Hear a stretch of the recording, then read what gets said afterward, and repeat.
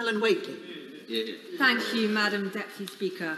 On behalf of my constituents of Faversham and Mid-Kent, I will echo the moving words we just heard from King Charles III. Your late Majesty the Queen, thank you, and may you rest in peace. A rest truly earned through a lifetime of service. Most of us across our country cannot remember a time before Her Majesty Queen Elizabeth. She's been a constant in a changing and often dangerous world, a source of strength and steadfastness. A leader by example with the courage to carry on whatever the storm. And she showed us that strength and courage need not be at the expense of kindness or indeed humour.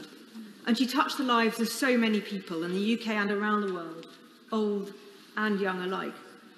I am sure we have all been asked when visiting primary schools, have you met the Queen? In fact, more often than we're asked, have you met the Prime Minister? Sadly, my answer to the first of those questions has always been no. But I do have something that I'm very personally grateful to her for. During the pandemic, Her Majesty the Queen addressed the nation it was a dark time, and I remember her address very well, not only for the compassion and hope she expressed, but for one particular detail. As Care Minister, I was endeavouring to get social care staff thought of and talked about on a par with staff in the NHS. When I heard the Queen was going to make an address, I sought to get a message to her. I don't know to this day if it reached her, but what mattered is when she got to that section of her address, when she spoke of healthcare staff, she spoke of health and social care staff in the same breath. And she realised how important her words would be to those care workers across the country. And that brought tears to my eyes.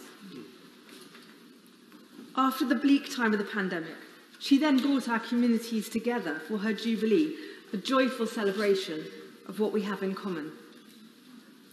As a nation, we mourn her, but her family are first and foremost in my thoughts as they mourn a mother, a grandmother, and a great grandmother.